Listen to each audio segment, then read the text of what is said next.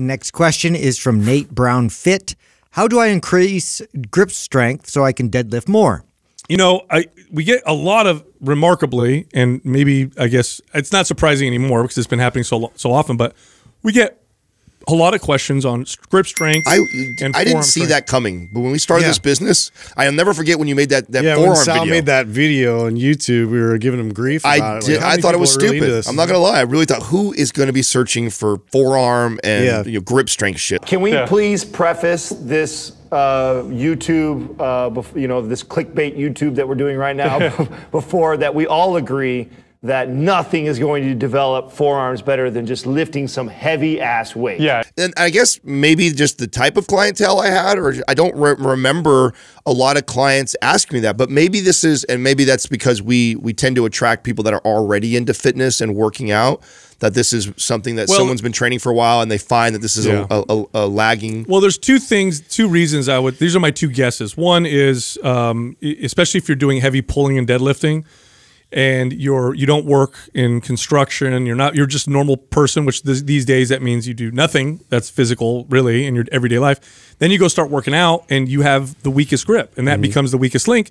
So then you're like, oh my god, what what can I do to strengthen my grip? The other reason I think is because for the most part, if you're a man, um, the muscle that might show is your forearms and hands. And you ask any woman, and she'll say she checks out a man's hands and forearms and can tell if he's fit or strong from that. So it's something that's also uh, attractive. But anyway, what I wanted to talk about were exercises because a lot of people don't know grip training exercises. They're not vi- very common. I mean, we all know hold on to a bar as long as you can.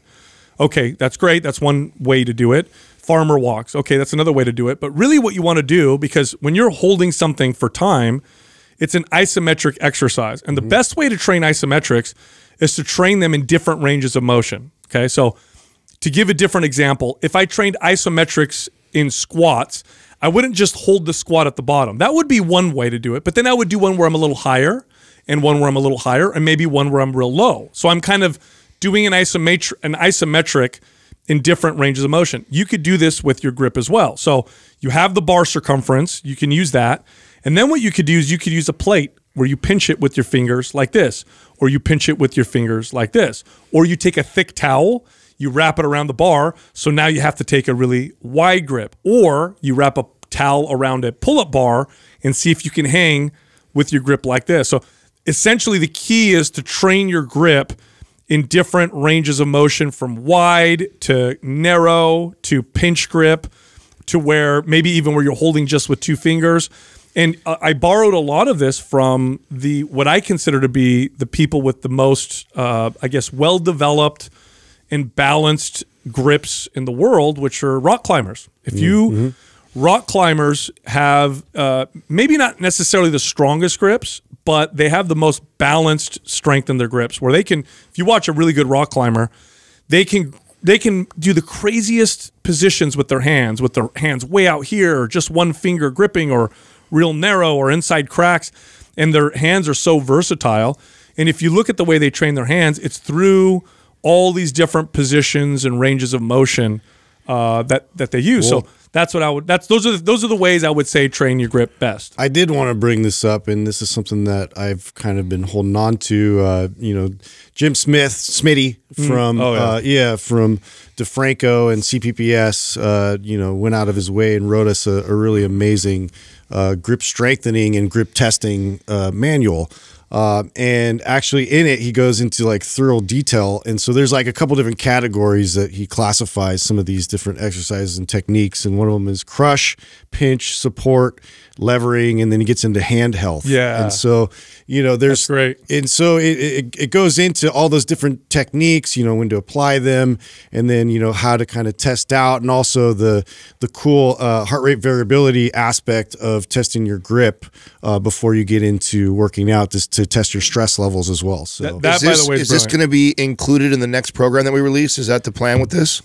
Uh, yeah, I mean that's what we're going to work out. Is is definitely we're going to be releasing this attached with uh, a product that we're going to put out. Yeah. Now, uh, is, now we talked about grip, but when you talk about grip, you can't leave out the forearm. So the forearm, yes, it has the muscles that close and open the hand, but it also has the muscles that flex and extend the wrist and also uh, go laterally. Right. So This is all the levering. Part yeah, so if you strengthen the grip, that's great. But also, don't ignore exercises that curl the forearm or extend the forearm, and also exercises where you're working this kind of laterally with the forearms.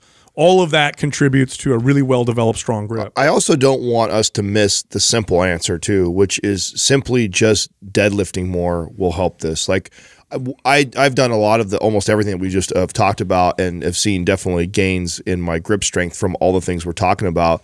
But one of the, the the greatest differences I ever saw was when I when I was chasing after Sal with a deadlift. I had never deadlifted at that high of a frequency um, and volume. It'll build your grip, that's for sure. And I just the, the forearms came up because I was always practicing the deadlift, right? I was, and then part of practicing the deadlift all the time included like the axle bar every once in Mm-hmm. a while, included heavy singles and doubles, included higher reps sometimes, and just because I was constantly gripping that bar and deadlifting with that bar all the time, my forearms got a lot stronger, especially for that specific exercise. Yep. Because there's a difference in saying like just getting overall forearm or grip strength Yep. that up- is applied to all these different things.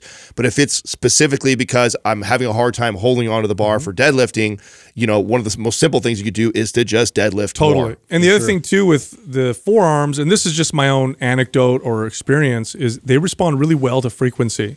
So often, like lots of frequent Yes. training, not at super high intensity. So, and scale yourself. So don't just jump into this because you will get soreness in your elbows. You'll get tennis elbow or what's the other one called, golfer's elbow or whatever. Um, so, but you can get those hand grippers. They're really cheap, and just kind of play with them throughout the day. Try not to overdo it.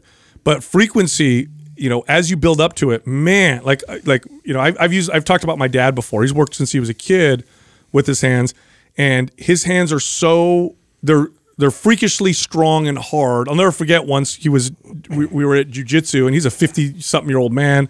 And he's going against this big Canadian pro football player, and they were going. And my dad's got a judo background, so and I remember they broke grips, and my this was the whole class burst out laughing, couldn't believe what happened. My dad's 180 pounds at the time. And this guy's like 320 pound dude, big dude. He reached out to grab my dad's gi, and my dad literally grabbed his hand and crushed it, and the guy tapped out. Hmm. and he was like, "What the hell did you just do to me?" And we were dying of laughter that this old man could crush his hand to make him strength. make him Just tap like out. shirt, huh? That's right. And it's so i if the frequency, right? That's what it came from. Him working with his hands for his whole life developed just that that iron grip. Hey, if you enjoyed that clip, you can find the full episode here, or you can find other clips over here. And be sure to subscribe.